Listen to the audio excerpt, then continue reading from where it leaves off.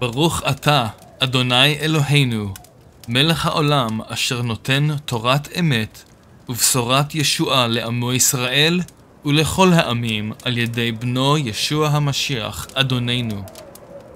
Praised are you, Adonai our God, King of the universe, who gives the Torah of truth and the good news of salvation to his people Israel and to all the peoples through his Son Yeshua the Messiah, our Lord.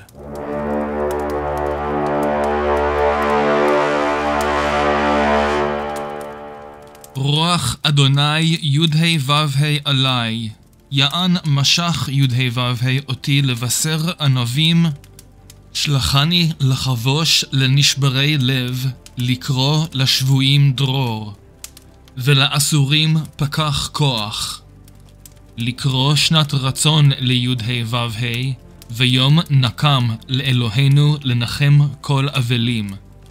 לשום לאבלי ציון, לתת להם פאר תחת אפר, שמן ששון תחת אבל, מעטה תהילה תחת רוח כהה, וקורא להם אלי הצדק, מטה י"ה ו"ה, להתפאר. ספר ישעיהו, פרק 61, פסוקים 1 3 The Spirit of Adonai Elohim is upon me, because Adonai has anointed me to announce good news to the poor. He has sent me to heal the brokenhearted, to proclaim freedom to the captives, to let out into light those bound in the dark, to proclaim the year of the favor of Adonai and the day of vengeance of our God, to comfort all who mourn, yes, provide for those in Zion who mourn giving them garlands instead of ashes, the oil of gladness instead of mourning, a cloak of praise instead of a heavy spirit, so that they will be called oaks of righteousness planted by Adonai, in which he takes pride. The book of Isaiah, Isaiah, chapter 61, verses 1 through 3, complete Jewish Bible.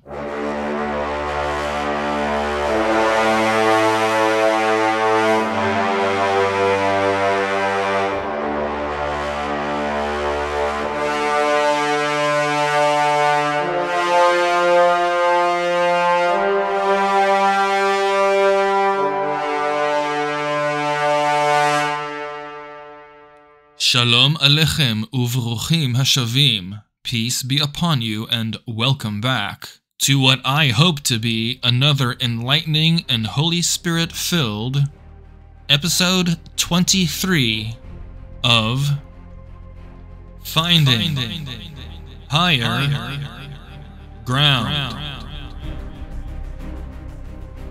Once again, it is your humble servant, the American born, Israeli raised, Manic Messianic, who 26 years ago had an encounter in the streets of Jerusalem with the light of the world himself. And now, inspired by Ruach HaKodesh, the Manic Messianic proclaims the good news of salvation and the light of Yeshua the Messiah from somewhere deep in the heart of Seattle, Washington, USA. Not affiliated with any Christian organization or denomination. Here is your host, Gadi Hyer.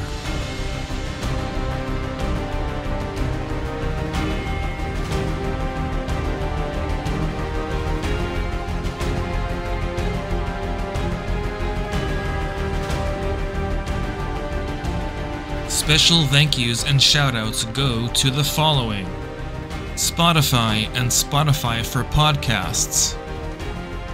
Everyone at Team Audacity. And also everyone at Epidemic Sound.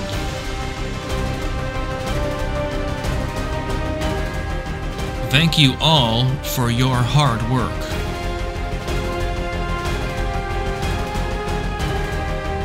Without the talents of all of you, finding Hyer ground would not sound nearly as good as it does. So may Yudhe Vavhe, the God of Israel, bless you in the name of his anointed one, Messiah Yeshua. And all the people said, Amen.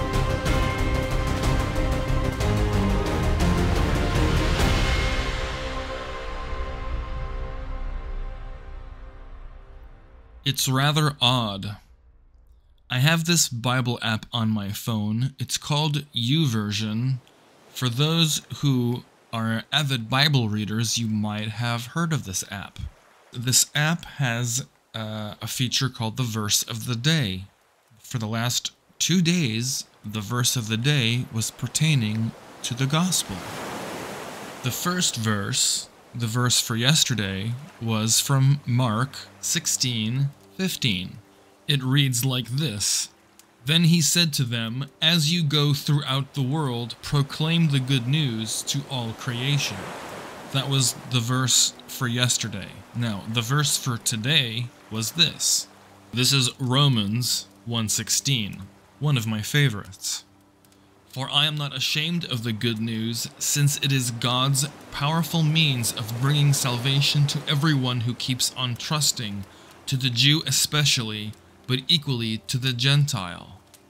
Alright, so that's the verse for today, and I'm thinking to myself, gee, I wonder if Adonai is trying, quote unquote, trying to tell me something. Adonai doesn't try anything. He either does or he does not do. Also, from Messiah Yeshua's perspective, I don't think he's a big fan of trying. From his perspective, it's either you do it or you don't do it. And I say this based upon the following. Absolutely perfect example. Here we are, Mark 8 34 35. Then Yeshua called the crowd and his Talmidim to him and told them, If anyone wants to come after me, let him say no to himself, take up his execution stake, and keep following me. For whoever wants to save his own life will destroy it, but whoever destroys his life for my sake and for the sake of the, wait for it, good news, will save it. Please note that the Lord Yeshua the Messiah did not say, If anyone wants to come after me, let him try to say no to himself, try to take up his execution stake, and try to keep following me. No, he did not say try. He said do. I know there's a bunch of y'all out there that are thinking about Jedi Master Yoda's famous quote, do or do not, there is no try. Yes, it's kind of like that. I digress. Let's go back to the heart of the issue. What is the good news? Now, I'm not silly. I know that there are people behind the little app in my phone that are, you know, programming it to, you know, display whatever they want it to display. However, with that being said, I do feel that there is a higher power, the higher power, at work here, telling me to get off my butt and sit it down at my chair and record this podcast episode that will be dealing with the question of what is the gospel? What is this gospel that I can't stop talking about? Now, you might have heard me refer to it more as the good news. So when I say good news, the good news, I'm actually referring to the gospel. Because that's what the Greek word gospel means. It literally means good news. Actually, not only does it mean good news, it really means the best news you could ever possibly hear in your entire life. The Hebrew word for the good news would be habsorah in this specific instance. You can definitely translate that also into good tidings, or the best tidings you'll ever receive in your life. But the question is what is this good news? What's so good about it? If there's good news, does that mean that there's bad news too? Y'all remember that classic question from the movies? We've heard it millions of times. Well, I got some bad news and I got some good news. Which one do you want to hear first? I'm rather curious to know just how many of you actually answered me and how do you feel about talking to an inanimate object? Oh, and, uh, I'm probably going to wind up giving you the bad news first. As I type the word Habsorah in Hebrew into my Google Translate app on my phone, I get the following English nouns news, tidings, message, annunciation, and, of course, gospel.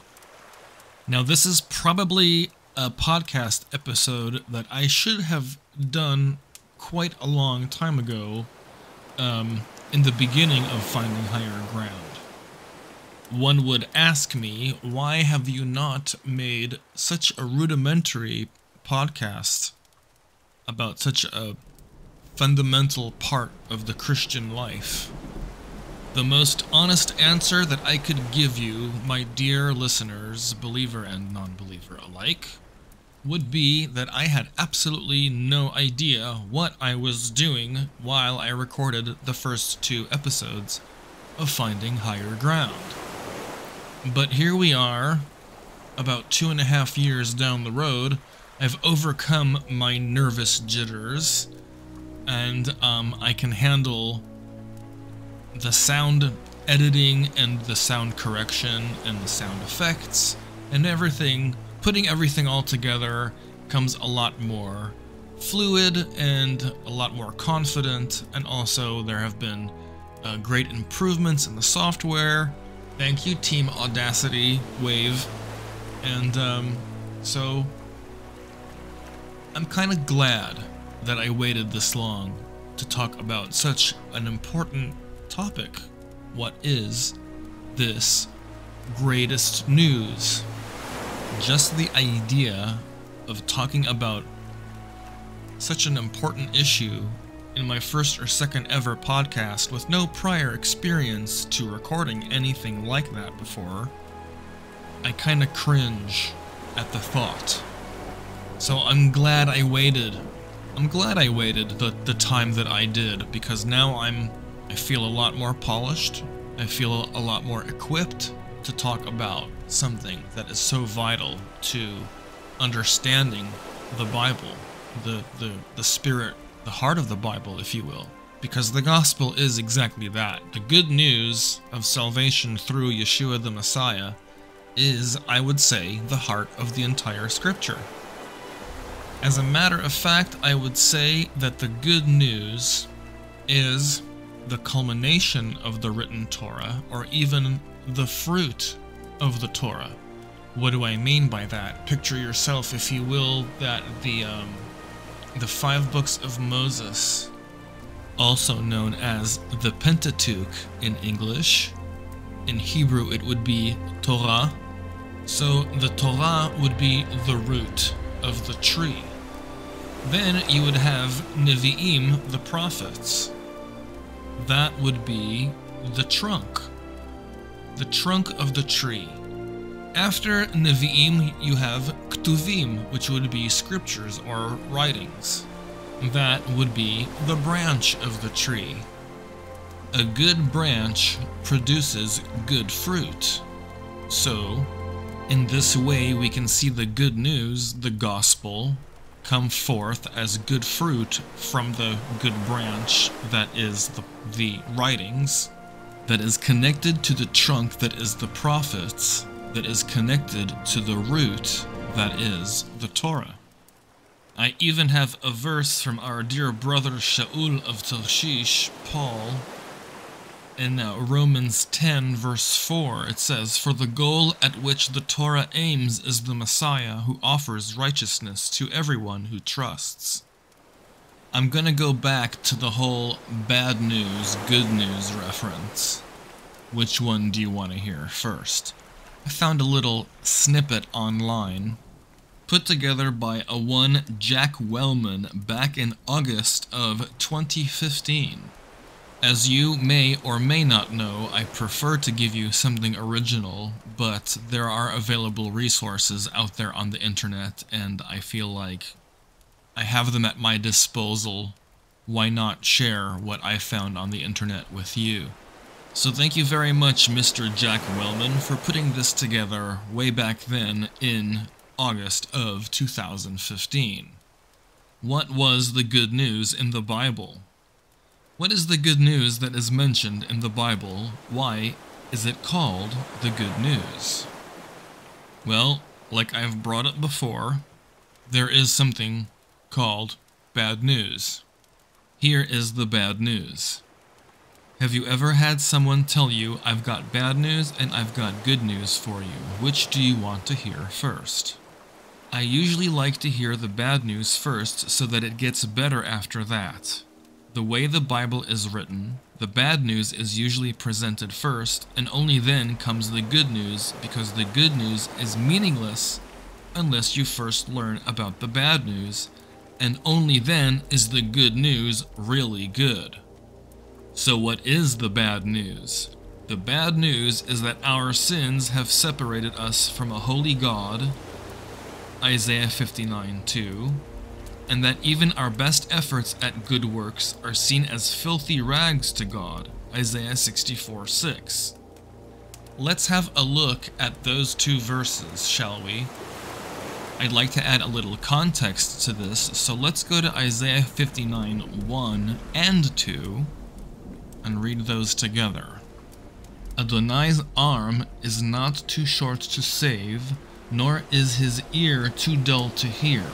Rather, it is your own crimes that separate you from your God. Your sins have hidden his face from you so that he doesn't hear. Pretty harsh. Okay, let's go to the second one. Uh, Isaiah 64 6. Well, we'll probably look into that with a little bit of context as well. And actually, when I look at this um, passage in the complete Jewish Bible, because the complete Jewish study Bible goes by the Jewish canon and not by the Gentile canon, therefore the verses are slightly different. So here, I'm looking at verse 5 instead of 6. It reads as following All of us are like someone unclean, all our righteous deeds like menstrual rags. We wither, all of us, like leaves, and our misdeeds blow us away like the wind menstrual rags. That's pretty vivid. That's a little PG 13, wouldn't you say? For those of you who do not know, there is some pretty sordid stuff in the Bible. I have news for you. This collection of books we've come to call the Bible is definitely not for the weak of heart.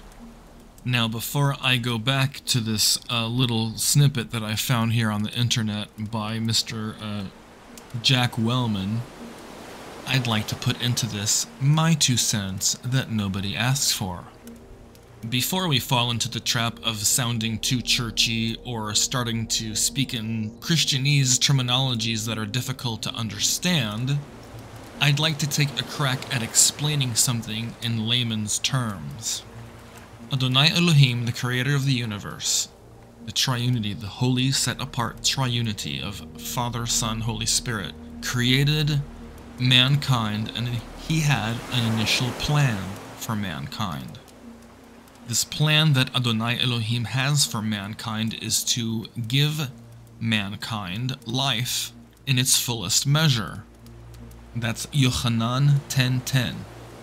The thief comes only in order to steal, kill, and destroy.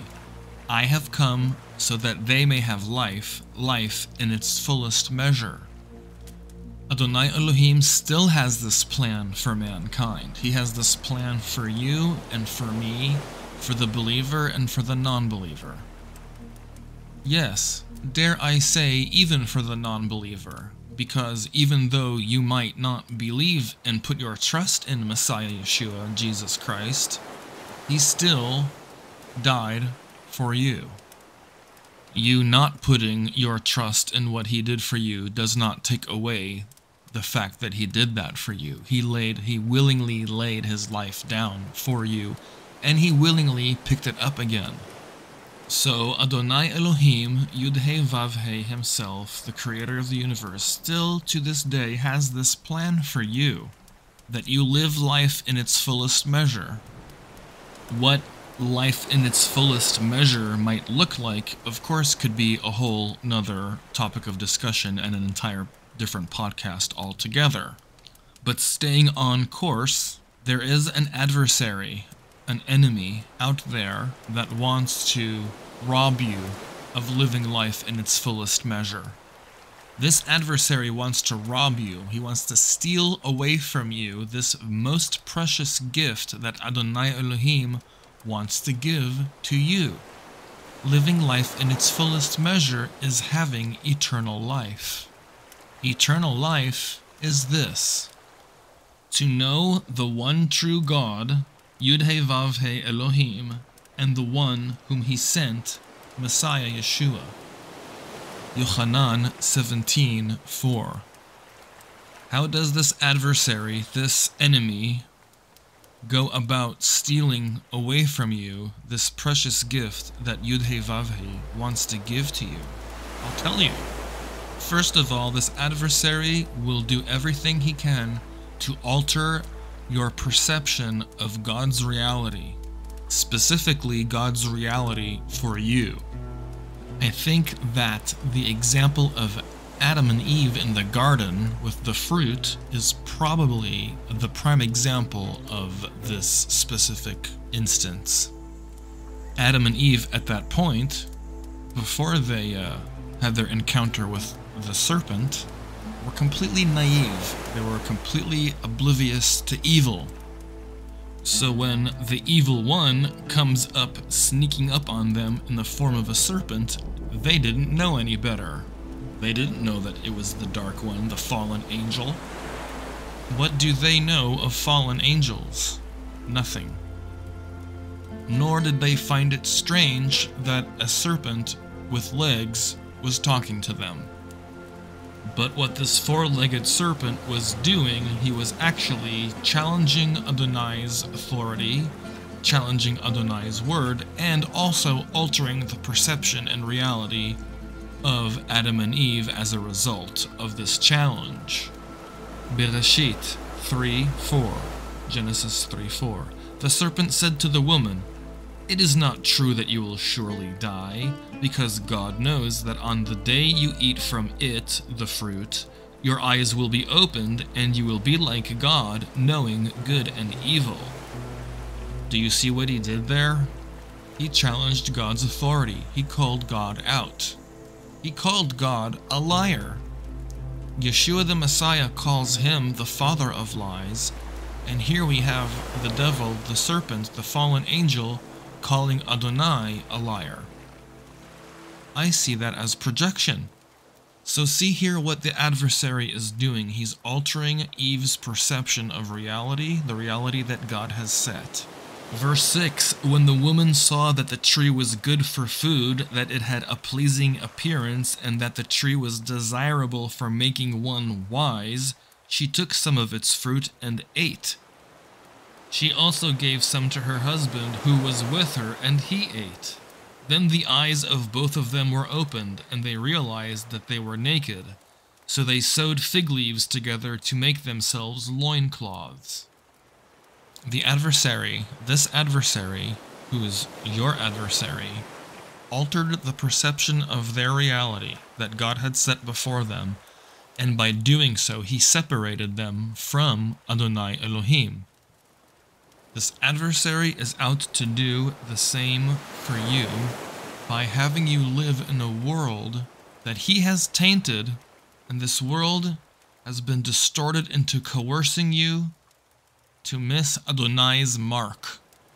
The word in Hebrew for sin is chet, spelt chet, tet, aleph. Chet. The aleph is silent, by the way the word in Hebrew for to miss, as in missing the mark, would be lehachti. It has the same three root letters in it. Lehachti, chet, tet, aleph. Think of it, if you will, as an archer shooting an arrow to a bullseye. Yes, this is a good analogy. An archer shooting an arrow to a bullseye. There is something called a trajectory. That is the path that the arrow takes to reach its bullseye, its target. Okay, Google, what is the definition of the word trajectory? Here's the definition of trajectory the path followed by a projectile flying or an object moving under the action of given forces. Here is an eternal truth. Adonai Elohim Yud He Vav He, the creator of the universe, has a trajectory for your life.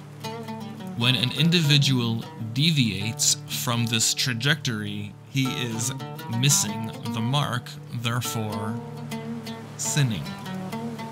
This world that we all live in is under the influence of the God of this world, small g, the God of this world, 2 Corinthians 4 4, the God of this world, who is the adversary and the devil. Because of his evil influence, this world will do everything it can to make you, cause you, coerce you to deviate from this trajectory that Adonai has set for you before the foundations of the universe were set. Have you taken a look outside the window lately? Do you see the utter madness that is surrounding us all? You, my dear listener, you are living in a world that has unrealistic expectations from you. You are living in a world that is void of empathy and compassion. Politics don't make any sense. The constant pursuit of money doesn't make any sense. More importantly than that, this world that we live in coerces you to have negative emotions. These are the windows in which the adversary likes to creep through and deviate you away from the trajectory that Adonai Elohim has for you. Now, back to Jack Wellman. The fact is, most people think that they're a good person, but Romans 3 10 12 says that we are, quote, all under sin, end quote, and also, quote, none is righteous, no, not one, no one understands, no one seeks for God, all have turned aside, together they have become worthless. No one does good, not even one, end quote. Every single one of us falls short of the glory of God, Romans 3:23, and the only thing we've earned are the wages of sin, and that means death, Romans 6:23. Before we trusted in Messiah, quote, all of us used to live that way, following the passionate desires and inclinations of our sinful nature.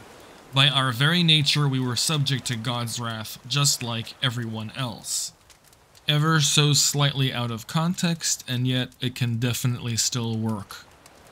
Like I have stated before, this fallen state that we all live in is not necessarily our fault. However, what is our fault are the choices that we make while we're here in this life. Ask yourself, my dear listener, believer and non believer alike, ask yourself what motivates you. What makes you do the things that you do? Is it for personal gain or do you do them to help others and build others up? That's the bad news now. Isn't it time for some good news after all of that? I think so. The good news in the Old Testament. That's right, you heard me correctly. Old Testament. In the days of ancient Israel, they had runners who brought bad news and good news, and they could usually tell whether the runner had bad news or good news by the way they were running. 2 Samuel 18:27. Ooh, I gotta look at that now. I am using my amazing fake leather soft cover thumb indexed complete Jewish study Bible so I can find things faster. Like good manic messianic tradition, I have to backtrack so that I could give proper context to the passage in question. Instead of 2 Samuel 18:27, we are going to start at 18:24. David was sitting between the two gates. A watchman went up to the roof of the gate and out onto the wall, raised his eyes, looked, and saw there a man running by himself. The watchman cried out and told the king. The king said, If he's alone, he has good news to tell. Ah, there's that good news. As he ran along and came close, the watchman saw another man running and called to the gatekeeper. There's another man running by himself, the king said. He too must have good news. And this is verse 27. The watchman said, The first one runs like Achimaatz, the son of Tzadok. The king said, He is a good man, he comes with good news. That's very, very cool. I, the Manic Messianic, have learned something with you guys today. Very nice. It is an honor and a privilege. Indeed, good news refreshes the bones. Proverbs 15:30b. Adonai Elohim spoke through Isaiah Ishayahu the prophet and said, Go up to the high mountain, O Zion, herald of good news. Lift up your voice with strength, O Jerusalem, herald of good news. Lift it up, fear not. Say to the cities of Judah, Behold your God. Isaiah 49. And here is a passage that I actually wrote down in my side notes while preparing for this podcast. This is Isaiah 52 7. I'm going to go ahead and read it from the complete Jewish Bible because that's just how I roll. How beautiful on the mountains are the feet of him who brings good news, proclaiming shalom, peace, bringing good news of good things, announcing salvation, and saying to Zion, Your God is King. My dear listeners, believer and non believer alike, the good news is this that Yudhe Vavhe, the creator of the universe, the eternal triunity that created all life and all things that are not man made. This Adonai Elohim, this Yudhe Vavhe, has given you a way out. A way out from all of this madness. A way out from a world that constantly deceives you and coerces you to miss your mark with God. This good news is Messiah Yeshua and having an intimate, personal, spiritual relationship with Him. The good news then is the good news now. God brings salvation, and to Him we owe our gratitude and praise.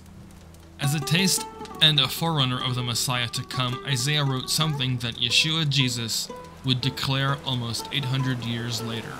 And here is another favorite passage of mine that I actually wrote down in my side notes while preparing for this episode. This is Isaiah chapter 61, verses 1 through 3. The Spirit of Adonai Elohim is upon me because Adonai has anointed me to announce good news to the poor. He has sent me to heal the brokenhearted, to proclaim freedom to the captives to let out into light those bound in the dark, to proclaim the year of the favor of Adonai and the day of vengeance of our God, to comfort all who mourn, yes, provide for those in Sion who mourn, giving them garlands instead of ashes, the oil of gladness instead of mourning, a cloak of praise instead of a heavy spirit, so that they will be called oaks of righteousness planted by Adonai in which he takes pride. The good news of Yeshua the Messiah. When an angel came to the shepherds in the field one night, the angel said to them, Fear not, for behold, I bring you good news of great joy that will be for all the people. Luke 2:10. This was the good news prophesied to come by Ishayahu Isaiah. Yeshua Jesus stood in the synagogue once and fulfilled what is written in Isaiah 61, verses 1 through 3, when he said, The Spirit of the Lord God is upon me, because the Lord has anointed me to bring good news to the poor. He has sent me to bind up the brokenhearted, to proclaim liberty to the captives, and the opening of the prison to those who are oppressed, to proclaim the year of the Lord's favor. Yes, I know I already read this. Bear with me, please. This is Luke 4 18 19 for reference. And then he rolled up the scroll and gave it back to the attendant and sat down. And the eyes of all of the synagogue were fixed on him. And he began to say to them, Today this scripture has been fulfilled in your hearing. Luke 4 20 to 21. It was soon afterward he went on through the cities and villages, proclaiming and bringing the good news of the kingdom of God, and the twelve were with him. Luke 8 1. With the long awaited Messiah, Jesus Christ, Yeshua HaMashiach, this scripture was fulfilled. But now what? The good news in the New Testament. Up until Yeshua, Jesus arrived and Yochanan HaMatbil, John the Baptist, or Yochanan the Immerser's ministry ended, Yeshua said, The law and the prophets were until John. Since then, the good news of the kingdom of God is preached, and everyone forces his way into it. Luke 16 16. But now, with Yeshua's arrival, the good news was to be taken to all the world. Matthew 28 19 20 and Acts 1 8. The gospel, or this good news, for they are one and the same, was spreading. For example, quote, when they believed Philip as he preached good news about the kingdom of God and the name of Jesus Christ, Yeshua the Messiah, they were baptized, both men and women. Acts 8 12. As I've mentioned before in the beginning of this podcast, the word gospel is the translation of the Greek word evangelion, ev or eu meaning good and angelion meaning message. So the good news is the gospel and the gospel is the good news, habsorah, Hebrew word habsorah. It is a good message for bad people who can be forgiven by a good God. I'm going to read that sentence again a little louder for the people in the back. It is a good message for bad people who can be forgiven by a good God. In conclusion, the good news or the gospel is not received well if a person doesn't hear the bad news first and that is that they have the wrath of God on them if they disbelieve in Yeshua, Jesus. John 3 3b. The bad news makes the good news, the gospel, all the greater to hear. This is the good news, just as Isaiah and Yeshua said.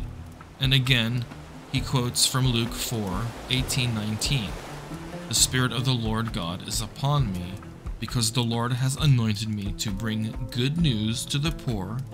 He has sent me to bind up the broken-hearted, to proclaim liberty to the captives, and the opening of the prison to those who are oppressed, to proclaim the year of the Lord's favor. My dear listeners, believer and non believer alike, I cannot stress this enough. If you, at this very moment, while you're listening, to this. If you feel like you are poor, then Messiah Yeshua is for you. If you feel like you are brokenhearted, if you have been heartbroken here lately, then Messiah Yeshua is for you. He came for you. If you feel like you have been a captive here as of recent, then Messiah Yeshua is for you. If you feel like you have been oppressed and in prison here lately, then Messiah Yeshua is for you. I'm going to also add this to the mix. This is Adonai talking, but it's from another prophet. It's from the prophet of Jeremiah. It's Jeremiah 29:11. For I know what plans I have in mind for you, says Adonai. Plans for well-being, not for bad things, so that you could have hope and a future. When you call to me and pray to me, I will listen to you. When you seek me, you will find me, provided you seek for me wholeheartedly, and I will let you find me, says Adonai. The good news of salvation through Messiah Yeshua is the gift of the Jewish people to the world from God, from Adonai Elohim Yud-Heh Vav-Heh. It is the culmination of the story of the relationship between the creator of the universe and his people, the people of Israel. And all those who put their trust in this person who is Yeshua the Messiah, the Messiah of the Jewish people, the King of the Jews, be they Jew or Gentile, will receive God's gift of eternal life. My dear listener, there is a way out of this madness. I challenge you at this moment to read and study the life transforming words of our Lord Yeshua, the Messiah, who is Yud-Heh Vav-Heh in the flesh. I challenge you to study his words. Find it out for yourselves. Let me tell you something if it can happen to my 90 year old mother who just recently came to the faith and got fully immersed, then it can happen to anyone. There is no heart that Yeshua cannot reach. If you are listening to this podcast and you happen to be an, a non believer and you have been hurt by religion, well, that's just it. You have been hurt by religion and not by God. It is entirely possible that your quarrel is not with Yud He Vav He, the creator of the universe, but of whatever religion you got hurt by. I urge you to reconsider. You have no real reason to hate Adonai Elohim when he promises you a hope and a future. That hope and that future is an abundant life, a life in its fullest measure, in knowing Yeshua the Messiah.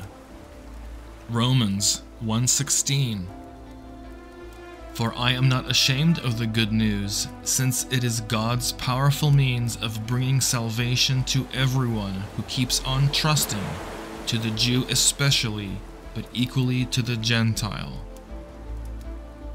For in it it is revealed how God makes people righteous in His sight, and from beginning to end, it is through trust. As the Tanakh puts it, but the person who is righteous will live his life by trust. My dear listeners, do not allow yourselves to be captives to your sins any longer. Do not let yourselves be captives to missing God's mark. Do not let the adversary steal your opportunity in getting to know your Creator, Redeemer, and Deliverer. You are not going to live forever, and we're losing daylight, guys. All this stuff that you think is so important, it's really not all this mad made stuff that you think is so important. It's not. There can be nothing more important in life than getting to know the one who created you and the one who can forgive you and restore you. And I speak from experience because this God, this Yud-Heh Vav-Heh Adonai Elohim God of mine, does it for me every single day. But I invite him to do it. I invite him in to do it. I let him do it. I want him to do it. I want him to reprove me. I want him to take me to the grindstone because he makes me a better person every time he does it. So, what's it gonna be, my dear listener? Believer and non believer alike? What's it gonna be? Are you gonna keep on listening to a world that lies to you and deceives you at every turn? Or are you going to listen to a God that was loving enough that he came down from his holy heaven and willingly laid his life down for you and suffered a brutal beating for you and carried his cross across Jerusalem for you so that you could have a way out? What's it going to be? I can never fully understand the height or depth of His love for me, but I'd rather spend an eternity trying to figure it out than one another day in the madness of the world that is under the control of the Dark One, the God of this world. The Second Corinthians 4 4 God of this world.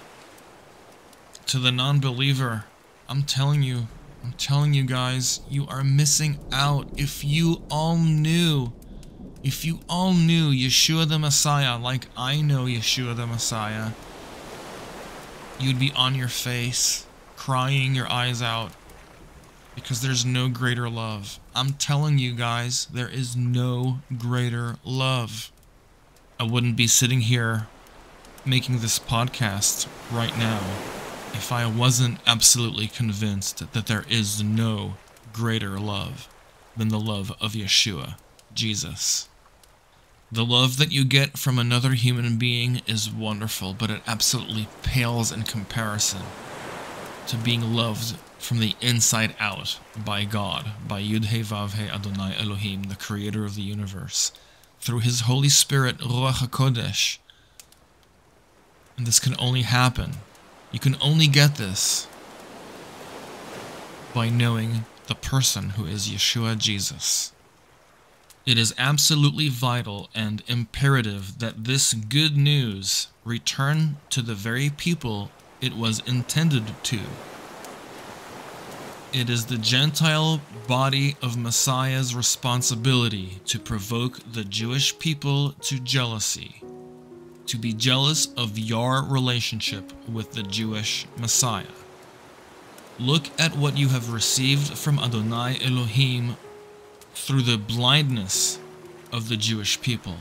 Imagine what you could get from Adonai Elohim if the Jews came to the full vision of their Messiah Yeshua. Just imagine. And my people, the Jews, are not being provoked to jealousy because the message, this Jewish message, has lost its Jewishness. It has lost its Jewishness because the Gentile part of the body of Messiah has been falsely approaching Scripture from the angle of them being Gentiles, but you are no longer Gentiles. According to Ephesians 2, you are no longer Gentiles, you are now inward Jews, and you do what Israel does. Messiah Yeshua says that he has another flock of sheep from another pen that he must gather and bring into this pen, and there will be one flock, one shepherd. There is no one flock because the Gentile flock remains a Gentile flock.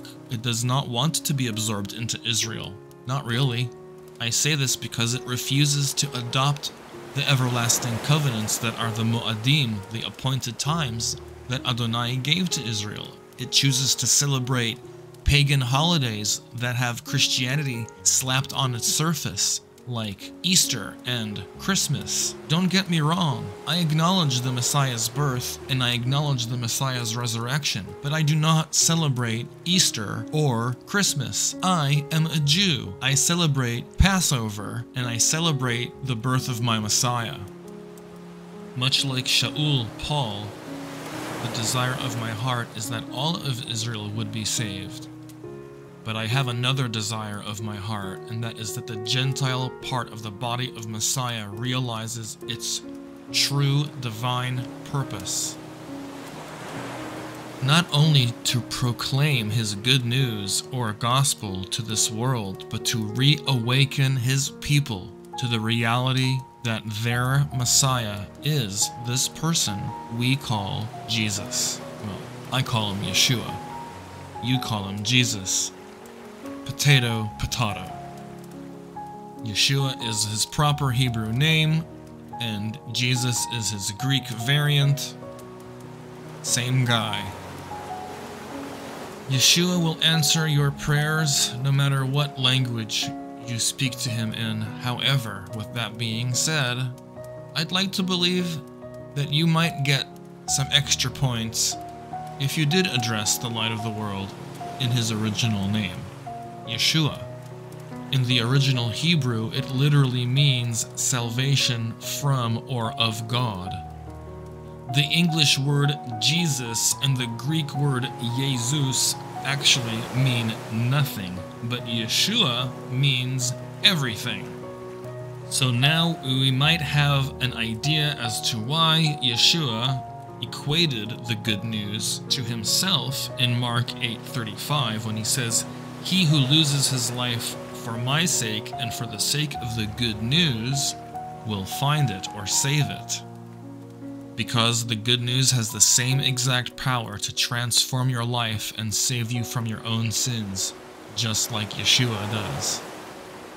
One more thing before I sign off.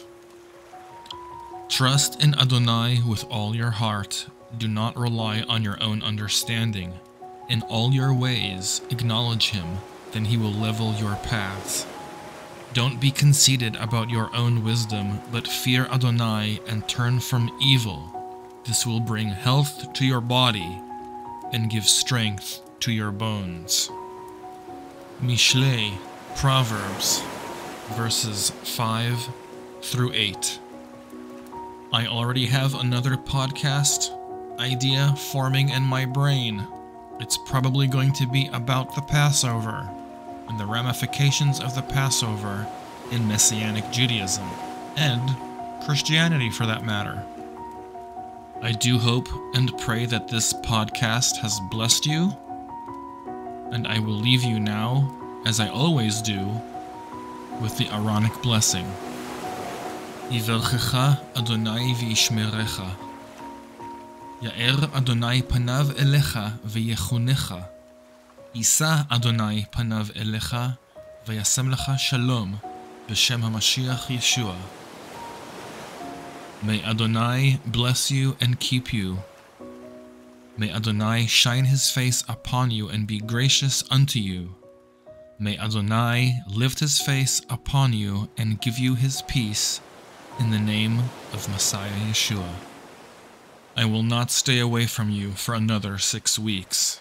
Until next time, Shalom Alechem, Unishtamea Bekarov. Peace be upon you, and you will be hearing from me soon.